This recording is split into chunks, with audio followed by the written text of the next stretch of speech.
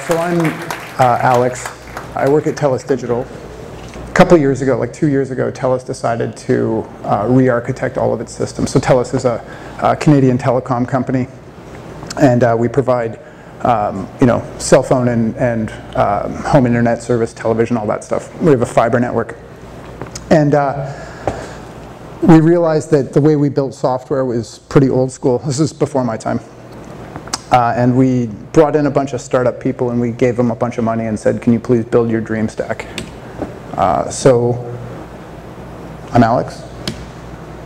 That's me. I'm the principal integration architect, which means I'm the API emperor.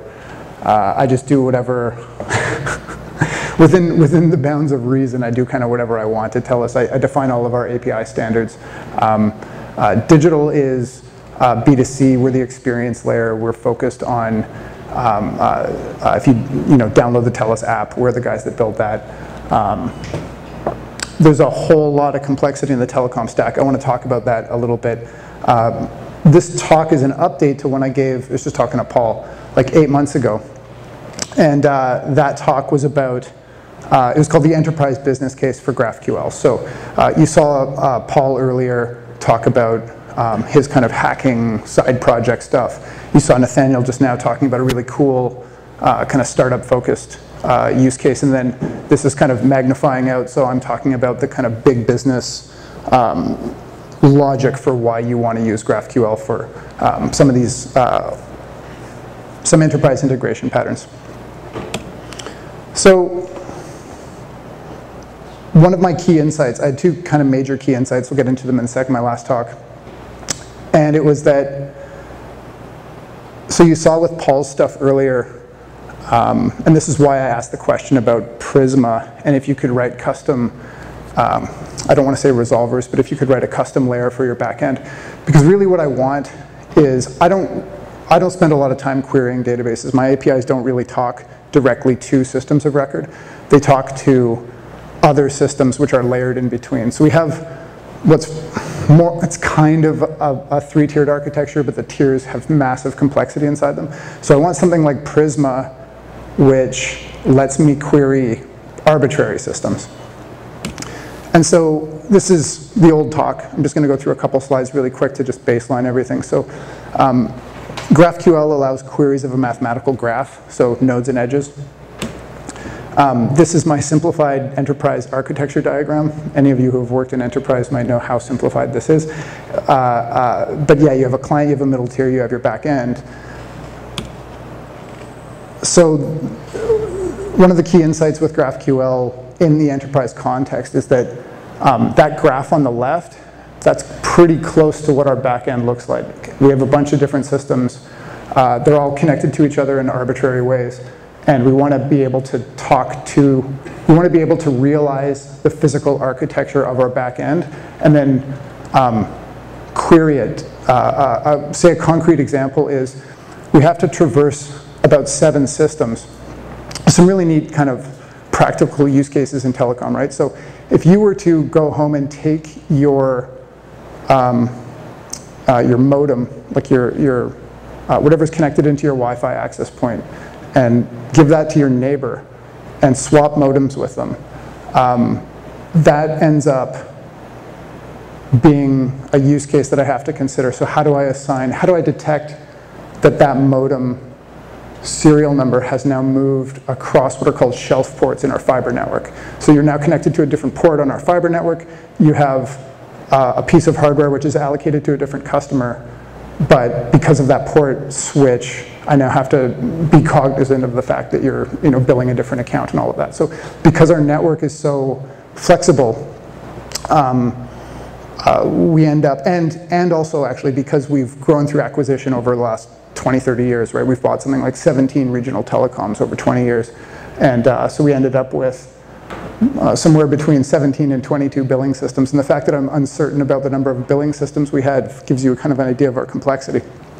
Um, but because our network is so highly configurable, uh, I end up having to, I can't maintain, for example, a simple mapping of your customer ID has this particular cable modem.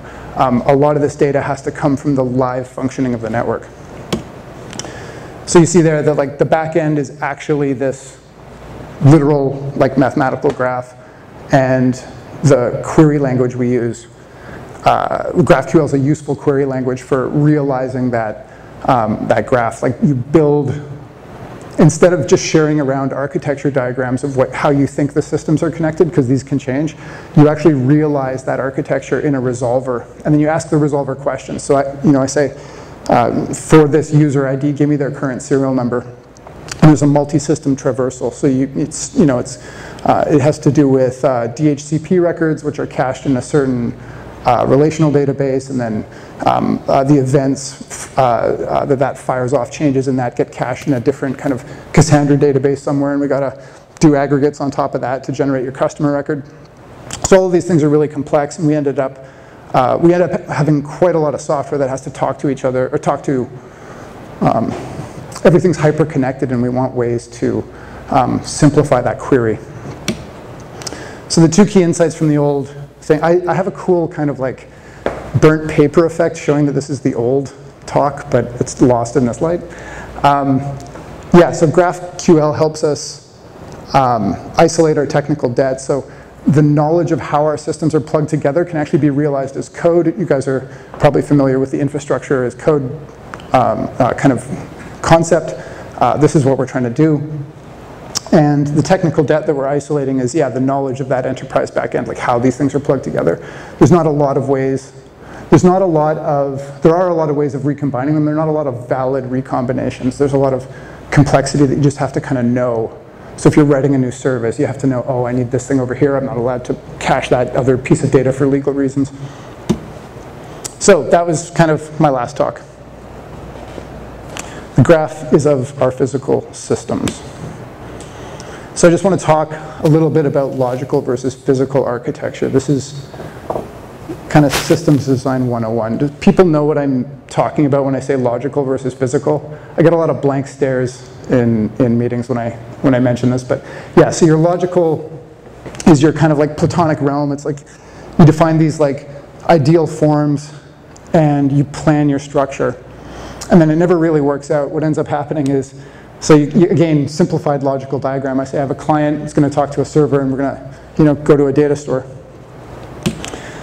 And then my physical architecture is, if you look, I'm, I'm realizing that, right? So the client in this case is going to be an iOS app. I'm talking to our customer API, and I have some kind of Cassandra backend. I've picked specific uh, physical implementations of those platonic ideals.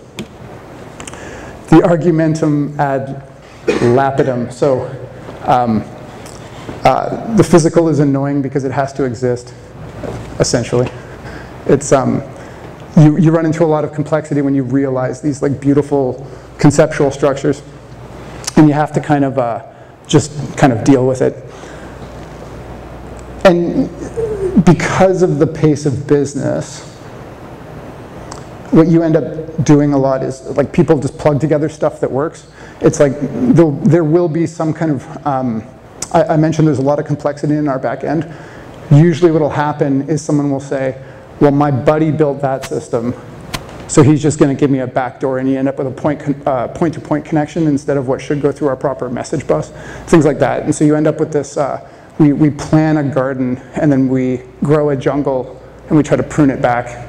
And I'm, I'm banking that GraphQL is going to be one of the tools that lets us prune that back over time. So there was recently some Twitter shade thrown on GraphQL. Uh, these guys were talking about some of this. Um, it's not as simple. Obviously, everyone here knows it's not as simple as, oh, it's just JSON developers or JavaScript developers don't know how to write JSON endpoints, JSON kind of queries, and then expose them. This is really funny.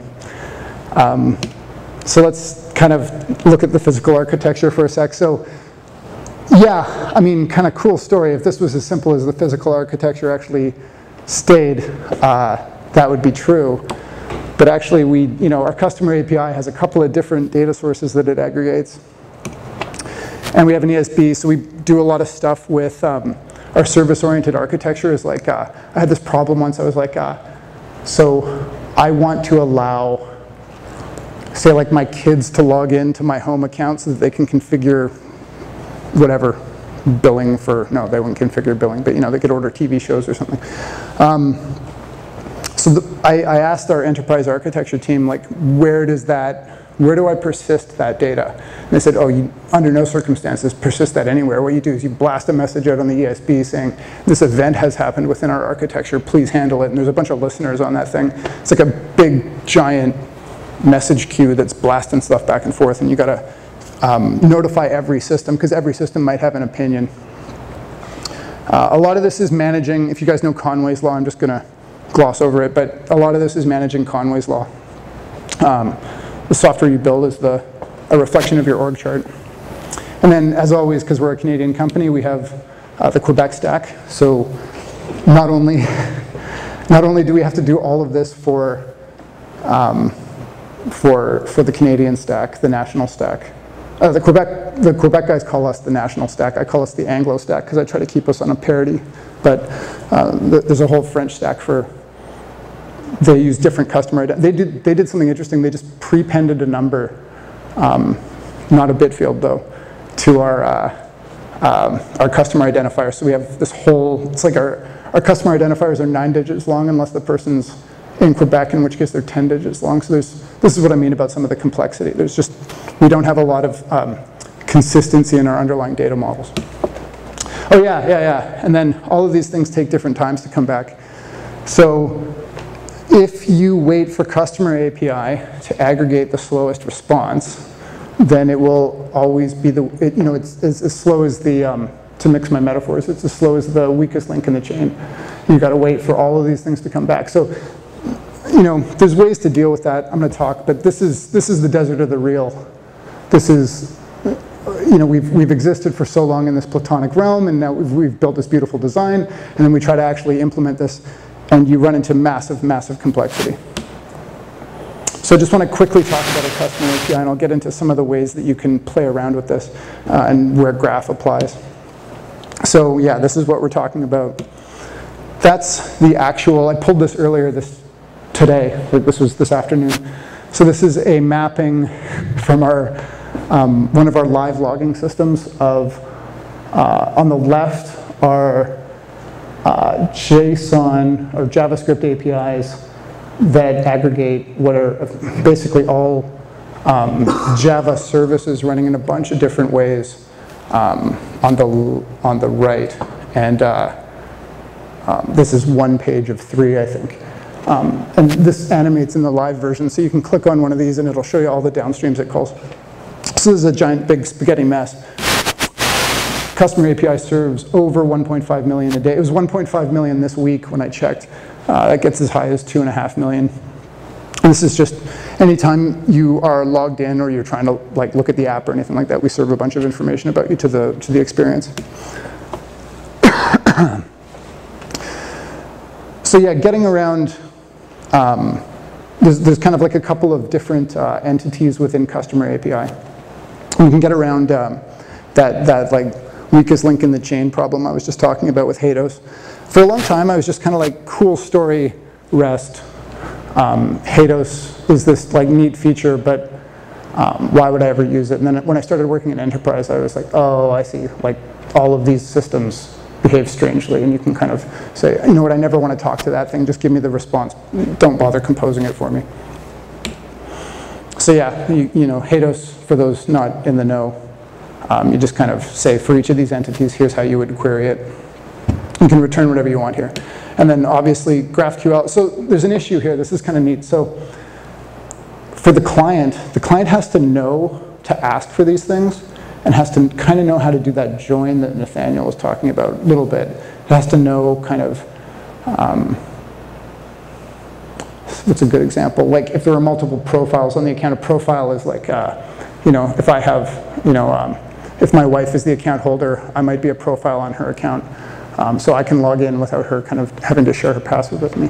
So there might be kind of multiple objects that you have under that, and you have to kind of then do the HATEOAS links for those. So like it, you end up wanting to have APIs that do composition, so you're not doing it on the front end because it's kind of just architecturally inelegant to do on the front end. Um, yeah. And the cool, one of the, I guess the coolest thing as we all know about GraphQL is that it does let the clients kind of control their own tech debt. They just kind of say, hey, give me the customer name. And then we can swap around our back end and do all this, you know, resolve for different ways of shuffling our back end without having to update the clients. And it does like payload filtering and all of that. One of the kind of neat things that TELUS does is um, um, if you are using if you are using a TELUS app on a TELUS phone, you don't have to be using a TELUS phone, I guess, but if you're using a TELUS app on the TELUS network, uh, we don't charge you for the data. So we want to, being greedy capitalists, we want to like shave those payloads down so that we send you the minimum possible kind of stuff. It's good for your battery and stuff too. So yeah, so obviously GraphQL, it's kind of, it's a little less verbose. So back to these two things. So we can isolate our technical debt. Yeah, we're isolating knowledge of the back end. Um, so as I mentioned, like the first time I gave, the first time I was talking about these things here, was like eight months ago. And I actually gave one of the best software estimates I've ever given in my career. Like, you know, never never promise deliverables at a particular time, right? But I, I kind of said, oh, you know, yeah, this graph stuff, that's cool. We'll probably be working on it in Q4. And so here we are, the fourth quarter, and we are beginning our GraphQL implementation. However, I waited too long. So this is one of my, this is again another slide from the original uh, presentation. I was asked to not say that we disrupt Big TELUS, but I left it up there, whatever. Um, it's not serious, it's jokes, everyone loves each other. Um, the enterprise tech adoption cycle. So one of the things that you run into when you're playing with new stuff is like enterprises really wait until things are well sorted before they, uh, before they jump in. Um, banks take quite a long time. Mining is huge. Mining, like, they're just beginning to get into using computers for stuff.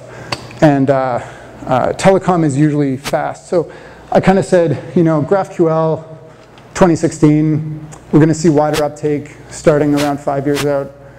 And uh, you know, you're going to be able to get like bleeding edge jobs in enterprise in like three years. It turns out that this was just totally wrong. uh, in, the, in the eight months since I gave my last talk, um, they snuck up on me. They kind of, I just like this image. But yeah, they kind of snuck up and they, they surprised me and they, uh, they started doing the revolution without me.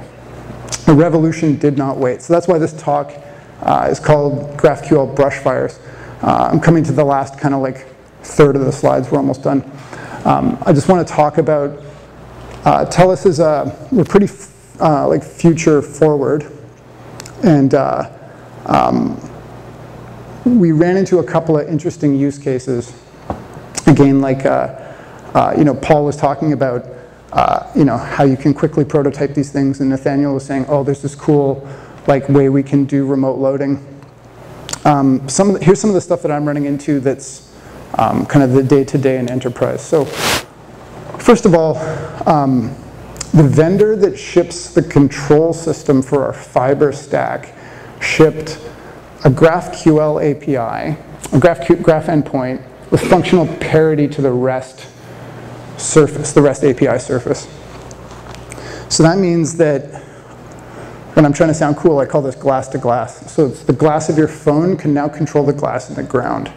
Um, so the apps that we make, the web you know, experiences we do, can now directly configure uh, our fiber stack.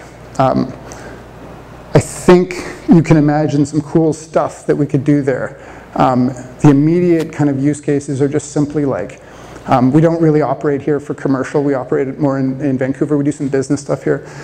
But imagine if TELUS were to roll out uh, home internet here and you guys could, could use it. You could do things like hop on the TELUS app and provision more bandwidth for when you had a party and you wanted to like, you know, just, just for the next three hours, I'd like to allocate more bandwidth to my house, please. So there's some stuff there that's really cool that we can, you know, that this is enabling us to do. This is, I maybe buried the lead. Uh, this is kind of a present for the people who stuck around. Um, we have a really great machine learning team. Um, the way that our machine learning practice works. So we, we do a lot of work directly with Google on uh, rationalizing our data models. And we use a, um, a columnar store. So like we don't actually store tables of data. We store individual uh, columns. And then each column has an index. So every kind of, every table that we would look at is actually just two columns, the index and then whatever you're indexing.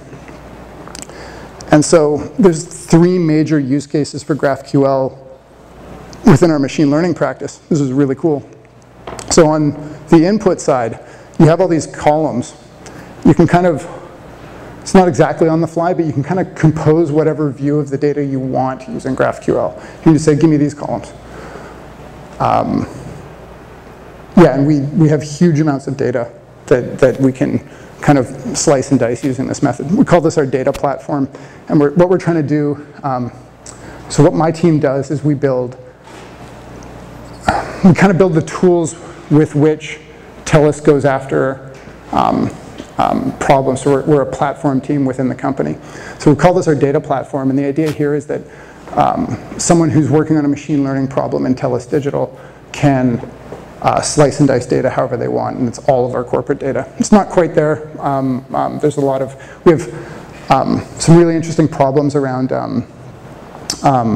privacy legislation. Like, um, first of all, we have to make sure that all of the data, no matter how you slice it, is properly cognizant of privacy.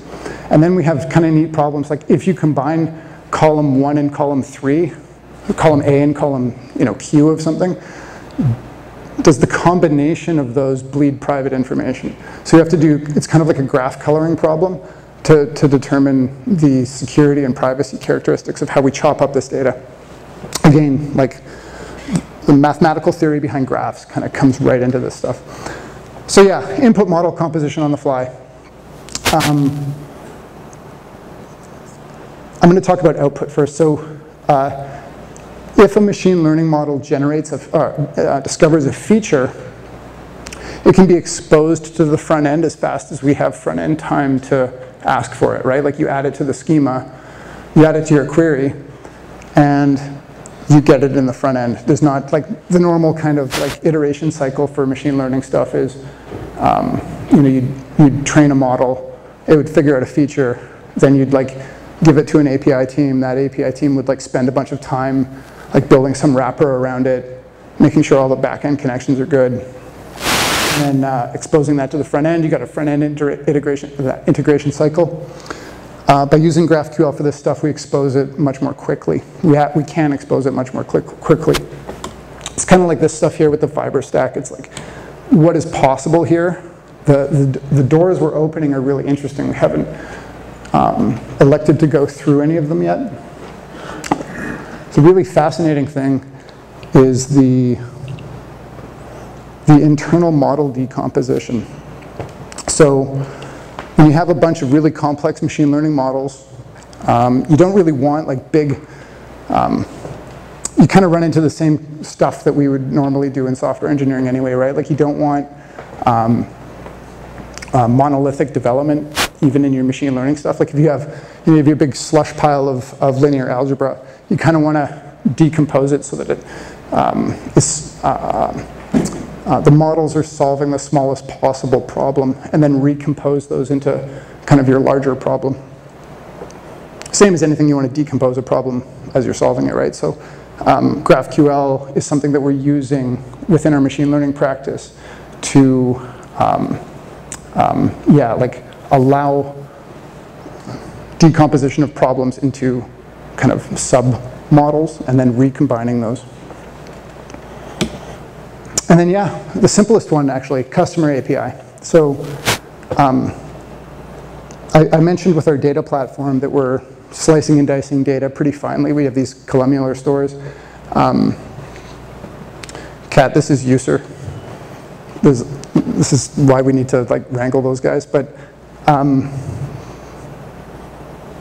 yeah, we don't want we, there's no reason that someone showing up as a front-end engineer uh, in, in TELUS Digital on day one needs start learning our enterprise architecture.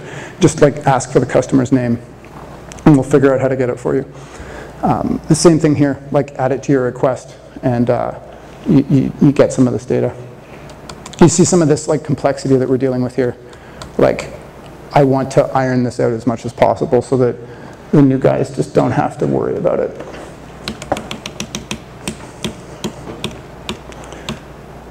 Yeah, so these are three, okay, so